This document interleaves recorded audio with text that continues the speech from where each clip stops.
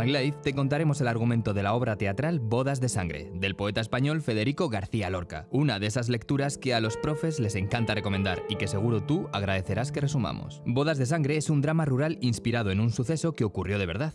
La obra empieza con un encuentro entre la madre y el novio, a los que nunca se les pone nombre en toda la obra. En esta conversación el novio le dice a su madre que piensa casarse pronto y que incluso ha comprado un viñedo del que podrán vivir tanto él como su futura esposa. La madre se siente triste, si su hijo se casa se quedará terriblemente sola. Él es lo único que le queda, ya que su marido y su otro hijo fueron asesinados tiempo atrás en una pelea de navajas a mano de los Félix, unos vecinos del pueblo. Lo que la madre no sabe es que la prometida de su hijo tiene fama de promiscua. Una vecina cotilla le cuenta que ésta tiene un viejo amante llamado Leonardo, un hombre casado y con un hijo que además esconde otro secreto.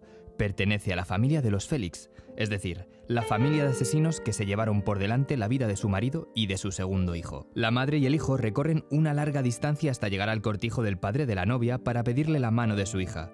La familia de la muchacha vive de manera acomodada y ella es muy guapa, así que la madre se siente contenta. Pese a las reticencias iniciales, ahora se muestra satisfecha, así que fijan una fecha para la boda. Poco antes del casamiento, mientras la criada peina a la novia y le coloca en el pelo la tradicional corona de flores de azahar, símbolo de pureza, la joven muchacha muestra cada vez más dudas sobre su boda. Pese al cariño real que siente por su novio, en realidad de quien está enamorada es de Leonardo, su antiguo amante. Justo en ese instante entra en escena él, Leonardo, que también trata de convencerla para que lo deje todo y se escapen juntos. También hablan de lo que la novia lleva en la cabeza, su corona de azar, símbolo de la pureza, algo que ella hace tiempo perdió. En este instante interviene la criada.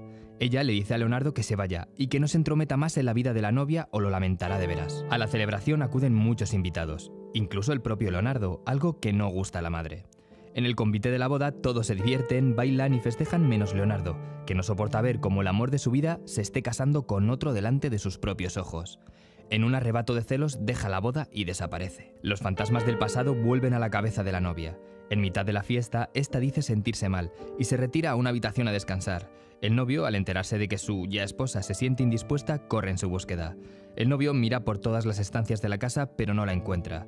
Es en ese momento cuando la criada grita, la novia se ha escapado por la ventana y ha huido con Leonardo. La novia se ha escapado con Leonardo creando un gran revuelo entre los invitados. El novio consigue un caballo y empieza una persecución por el bosque, mientras los enamorados furtivos cabalgan a toda velocidad a lomos del caballo de Leonardo tratando de escapar juntos y aprovechando la negrura de la noche. Gracias a la ayuda de dos personajes simbólicos como son la muerte y la luna, el novio conseguirá dar con la guarida donde se esconden los amantes furtivos.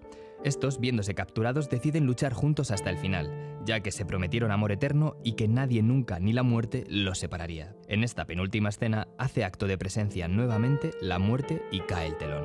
En el último acto de bodas de sangre, todas las vecinas del pueblo están vestidas de luto. También van de riguroso luto la madre y la viuda de Leonardo, todas en señal de duelo. Lloran desconsoladamente por la muerte de los dos jóvenes, Leonardo y el novio. Ya al final de la obra entra en escena la novia y le pide a la madre que la mate, que no aguanta más tanto dolor, ya que por su culpa las dos cosas que más quería de este mundo se mataron a puñaladas. La madre entiende su dolor, pero maldice a la novia y la echa de la casa. Si quiere llorar la muerte de los dos hombres, tendrá que hacerlo sola y en la puerta de la calle. Y así acaba este drama lorquiano. Déjanos en comentarios qué otras obras te gustaría que resumiéramos y como siempre, dale a like y comparte si te ha gustado. ¡Hasta la próxima!